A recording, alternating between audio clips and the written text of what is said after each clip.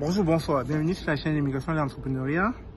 Nous sommes dans l'un des plus grands entrepôts de fabrication de meubles au Québec. Je ne vais pas prononcer le nom, mais comme vous pouvez le voir, c'est ça le travail d'entreposage. Il va falloir être très fort physiquement, aimer ce genre de boulot. Et euh, ça demande de la flexibilité et surtout euh, une très bonne manutention. Parce que vous allez voir, c'est des travaux pour lesquels vous allez tout le temps vous servir de vos mains. Et ça peut être demandant, 8 heures en train de manipuler des colis, parfois avec de lourdes charges. Et vous voyez, ça va vous faire développer rapidement vos bras, etc. Donc, euh, c'est ça le travail en entrepôt. Ça peut être très demandant, très difficile.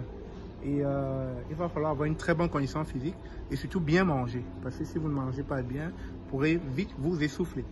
Donc, en gros, voilà, de manière euh, palpable, euh, je dirais de manière euh, voilà, physique, comment se passe les, comment ça, comment se passe la manutention ici au Québec. Donc, je voulais quand même que vous le voyez, que vous puissiez être au parfum, que vous puissiez, à travers moi, voir un peu comment les ouvriers travaillent ici.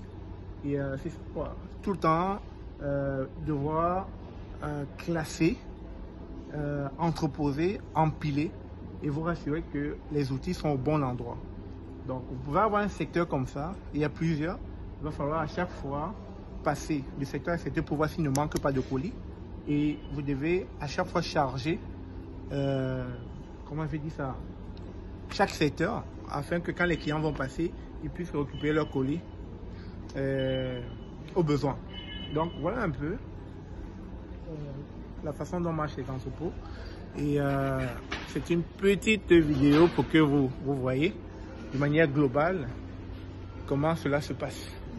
Alors, je ne vais pas traîner, je vais devoir me mettre à l'œuvre. On se dit à très bientôt.